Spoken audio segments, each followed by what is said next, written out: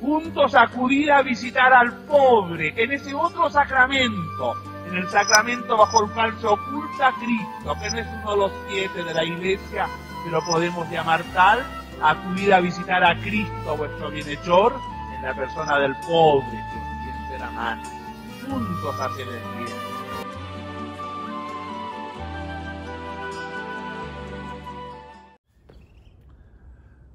Muy feliz jueves cuando estamos ya avanzando en esta semana.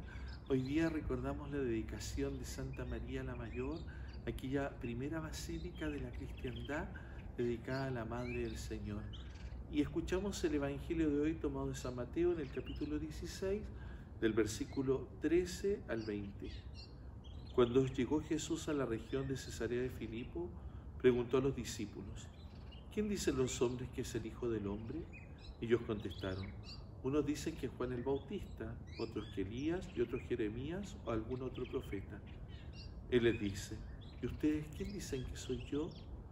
Simón Pedro respondió, tú eres el Mesías, el Hijo del Dios vivo.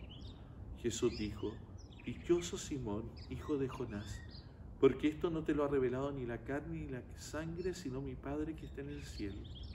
Y yo te digo, tú eres Pedro y sobre esta piedra edificaré mi iglesia, y el poder del infierno no prevalecerá sobre ella.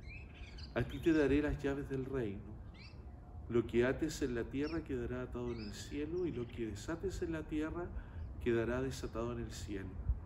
Entonces les ordenó que no dijeran a nadie que él era el Mesías. Palabra del Señor. Nos encontramos con este texto tan conocido de la confesión de Pedro, cuando Jesús aparece preguntando a los discípulos, ¿quién dicen ustedes que soy yo? Una pregunta que sigue resonando hasta el día de hoy para todos los creyentes. ¿Quién es Jesús en nuestra vida? ¿Qué lugar ocupa en nuestra historia? ¿Qué lugar tiene el Señor en, nuestra, en nuestro ser, en lo que tenemos que hacer? En ese aspecto, nosotros sabemos que es el Hijo de Dios. Pedro lo reconoció allí por esta revelación que le da el Padre. Esto que le dice Jesús, esto no te lo ha revelado ni la carne ni la sangre, sino mi Padre que está en el cielo. El Padre le ha revelado a Pedro que Jesús es el Mesías. El Mesías era aquel que esperaba el pueblo de Israel, que esperaba como el Redentor. Pero este Mesías, que es Jesús, va a tomar un camino distinto al que muchos esperaban. Por eso es que los guarda ellos o los manda a guardar silencio a ellos, les hace guardar este secreto porque en las expectativas mesiánicas de la época se esperaba casi un Mesías guerrero y sin embargo el mesianismo de Cristo es un mesianismo que viene a sembrar el amor, la compasión, la misericordia. Entonces, este reconocimiento que hace Pedro de Jesús como Mesías está en un parámetro totalmente distinto.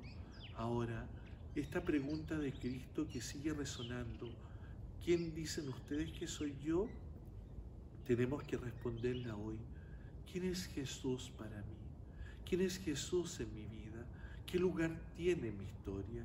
Que día respondamos cada uno desde nuestro ser, desde nuestro corazón, nos seguiramos a Él y digámosle Jesús, en ti creemos, en ti confiamos, en ti esperamos. Que tengan un feliz